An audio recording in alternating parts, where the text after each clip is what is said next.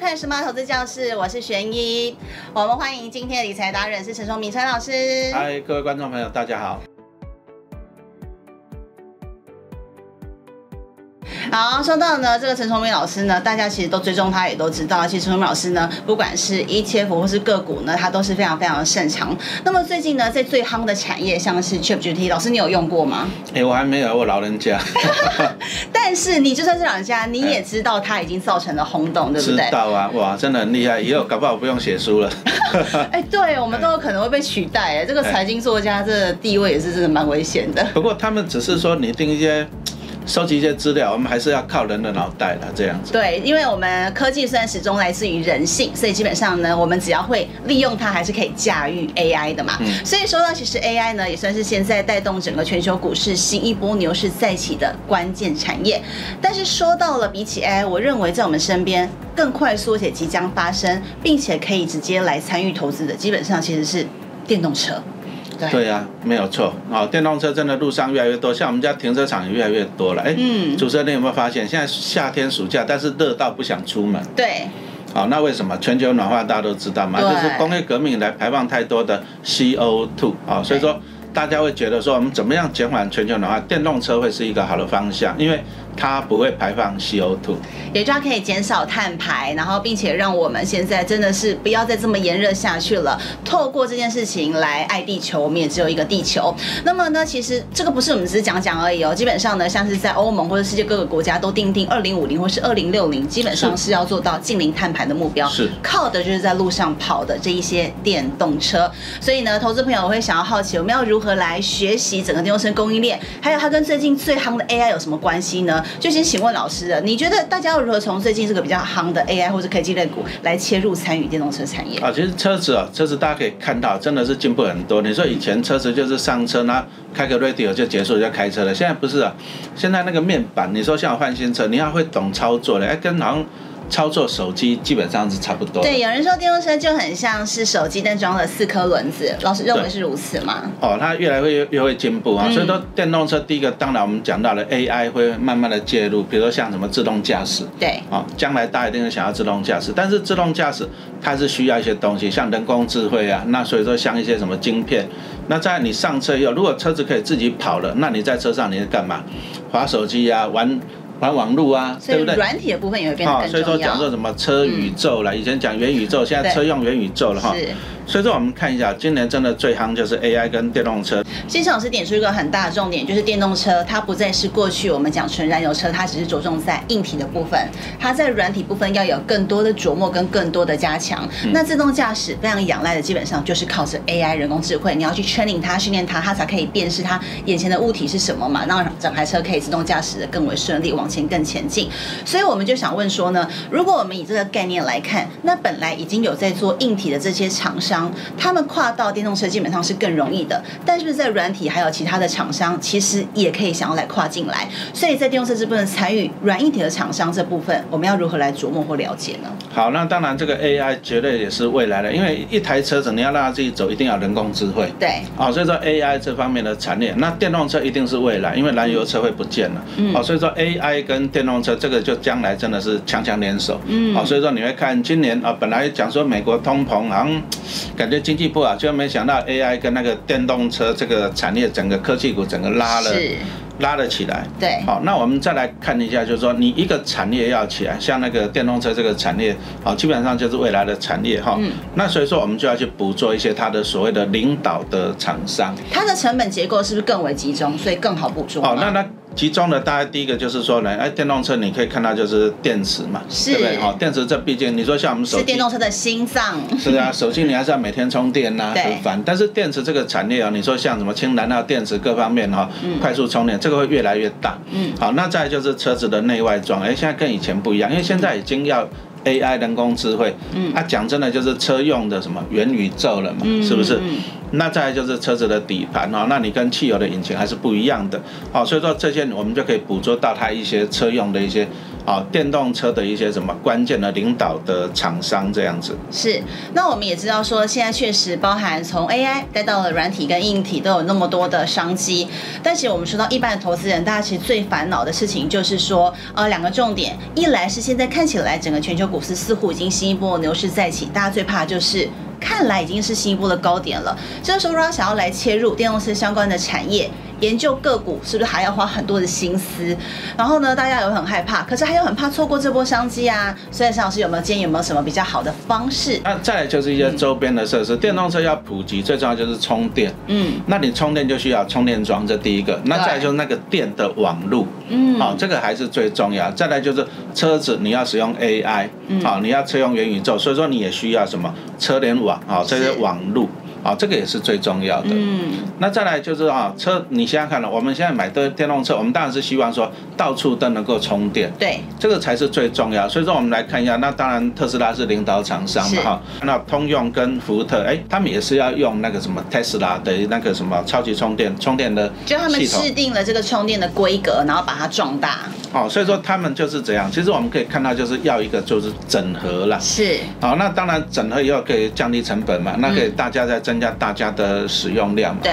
啊，但是这些都是算最关键的，你要有电网，你要有充电桩，你要车联网，这个电动车这个产业才可以真正的起得来。嗯，那说到整合，是不是其实透过 ATF 或是像这样子整个把市值加权追踪这样指数，也是一种整合的追踪法呢？哎，对，因为这个产业真的是太庞大。对。好，你说不要讲特斯拉，你传统的车厂。都要跨进来，是好。那这个从上中下有车体的那个什么结构啊，引擎电池啊，甚至软硬体啊，对不对哈？嗯。那这个这个一般投资人真的你研究是有困难的。嗯。好，那刚讲到了，就是说，那既然这个电动车这个产业包含哦，真的是上山下海，包含了这么多产业。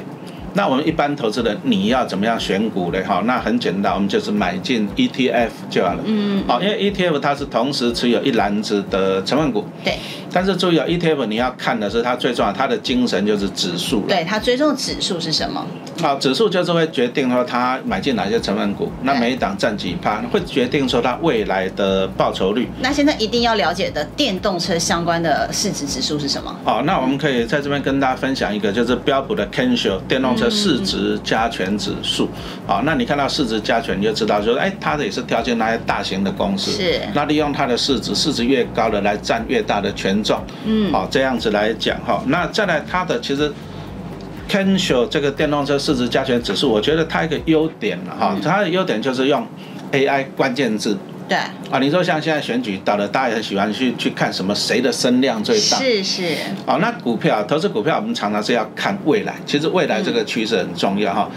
那在高扎时代，以前人研究股票是这样，营收啦、财报。对啊。可是这个基本面很认真的去研究。可是有点慢。哦，你如果说传统产业还可以，可是你说这种电动车这个 AI 这产业，你等到它财报再出来的，等它营收再出来，那个都已经过去式，股价都涨翻天了。嗯。好，所以说 Kensho 这个指数啊，它是抓什么？抓关键字。是。哦，那关键字好处就是说，哎，你抓到关键的，就是大家声量最高的，因为毕竟投资股票就是这样子，人多的地方股价就会涨。好，所以说你就是往前抓那个关键字哈，它是利用那个 AI 来抓关键字。嗯。好，那可以抓到那个什么？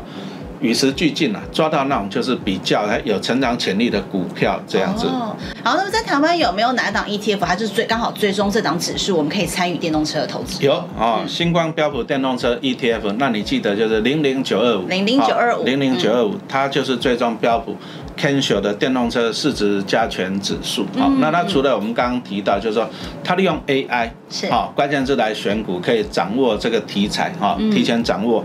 那再来就是说，它还是解锁那个整个电动车的产业啊，它可以负债，就是它可以覆盖整个完整的电动车的产业。那比如说车厂，嗯，啊，车厂车厂不是只有电动车的，它甚至一些什么啊，比如说 Honda 啦、Toyota 这些的哈。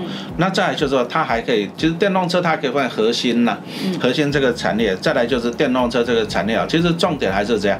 软硬体哈，它要软硬体要能够结合，再来就是又分为上游、中游跟下游产业，哦，那这个就是投资 ETF 的优点了哈，它可以同时持有这些哦软硬体上中下游，那重点还是说你要了解它的指数的精神哈，它持有哪些股票？对，它前十大它持股是哪一些？它最主要，它最主要的哈，它要求就是说必须要在美国的股市要公开上市的，是。那美国大家都知道，就是全世界最大的股票市场嘛，那好处就是它的成分股的流动性，嗯，好，也不会说你买到一些小型股没有流动性，嗯，好，所以说这个是零零九五它的成分股的优点哈，嗯，所以我们来先讲一下它的优势了哈，零零九二五哈，它追踪指数的优势，第一个就是 AI 的智慧选股哈，因为我们刚刚已经讲到了，你如果用以前的什么财报啦、营收了哈，这个还是相对的怎样？落后，好，那再第二个，它是指导这个产业的核心，嗯，好，你想想看，其实电动车就是要结合 AI，对，好，这样子它将来变成自动驾驶车，对，强强联手。车用的元宇宙，那这些就需要什么？哪些核心产业啊？第一个就是半导体，对，好，没有半导体不行。那半导体当然要分为上游设计、中游的制造跟下游的什么封装测试。是，好，啊，再来车厂，它不是只有局限电动车厂，它还有一些传统的车厂，因为传统的你还是要整，还是要还是要进化嘛，对不对？啊，还是要跟上去生产。那还有一些什么零组件呐、充电呐、电子哈，它都会包含这些核心的产业。再来，它就是掌握一些怎么样全球的领导的品牌了哈。比如说像车厂来讲，我们看常知道就是啊，你除了 Tesla，那刚刚讲到的通用啊、福特，对不对？那我们还可以知道什么 Honda、Toyota 啊，甚至中国，哎，就是中国人口最多，对，好，所以说他们有什么理想汽车啊，什么未来汽车哈，那这些都是怎样子？我们这个零零九二五它的指数所包含的啊三大的优势，好，那它的。主要的成分股来讲啊，除了我们刚刚讲到的什么宏达、Toyota，对不对？那还有什么啊？理想汽车啦，那未来汽车，那那这些其实它就是包含，你就想想看嘛，你一台电动车需要哪些东西？对不对？那当然，第一个就是车厂。对。啊，燃油车厂它也是要进化到电动车厂转型。对。那在你需要一些半导体。嗯。没有错啊，没有半导体没办法做 AI 嘛，哈。嗯。那再就是电池。是。啊，那电池这些产业，那再就是充电网这些产业，那目前看起来这个 Kensho 哈这一档这个指数来讲哈，就是零零九二五这个追踪的指数，就是包含了这这些产业这样子。所以真的是可以透过这个 ETF，就是一篮子打包所有电动车当中需要的关键产业跟关键元素。那当然大家也都知道，其实透过 ETF 呢，投资人他们就可以分散风险。那请陈明老师再帮我们进一步跟大家解释说呢，你觉得透过 ETF 来参与相关产业，它有什么好处？啊，其实投资股票大家都很希望要有钱嘛，这很同意嘛，对不对？啊，但是有钱以后你就希望你有闲呐，是这个才是最重要的哈。要不然你每天做研究，那那也是很痛苦，很忙。哦，所以说你买进 ETF 就是同时持有一篮子的股票，这个是重点。对。啊，但是呢，重点的中的重点就是它 ETF 它所追踪的指数。嗯。好，那我们刚刚已经讲到了这个 Kensho 这个指数啊，用什么 AI 啦，啊，核心的。持股这样子哈，这个我们刚刚讲到有这些优点啊，所以说你在买进 ETF 的时候，你也不是说佛系去买，你要去观察它的指数的优点，这个是很重要。好，那你如果说有了指数，好的指数有，那你就可以很佛系去操作了。嗯，好，就是说我们怎样想要有钱，你只要买到对的产业。好，那一天有闲了。对，那就有闲，有闲就是抓趋势。好，就像刚刚经理啊，刚刚主持人有讲到，就是未来的世界啊，已经慢慢会转型到了，你一定到最后一定路上都是电动车。对。那电动车一定要结合 AI。嗯。好，那这是一个长期的趋势。那你如果说哎觉得这个趋势是对的，投资 ETF 就好了。好，对的指数，那投资对的 ETF，那投资 ETF 你也很简单呐，你因为。因为讲实话，电动车要完全替换掉燃油车，可能未来十年要慢慢陆续了，好，慢慢陆续，那表示这是一个长期的过程。对。那投资的你就这样，用最简单法，你就定期定额去买它。是。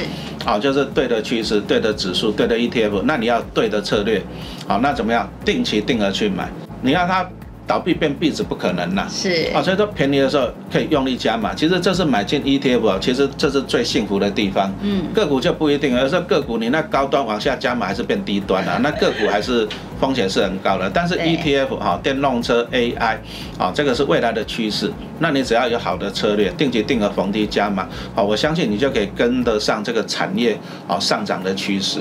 确实呢，选对标的，然后看准产业，透过 ETF 的方式，我们定期定额投入，走出微笑曲线。那也要记得呢，如果有低点的话，一定要来做单笔加码。那么，所以跟大家说了，基本上在去年呢，全球的电动车规模已经突破了一千万台，今年预估会再成长三成，也就是今年就会超过一千四百万台，等于是路上呢每五台当中就有一台它会是电动车。而未来就像陈老师提到的，满路也都是电动车了，所以现在率先卡位电动车商机，是投资人或许可以来参与的方向。smart 头像是谢谢陈老师，我们下回再见，拜拜。好，拜拜，谢谢大家。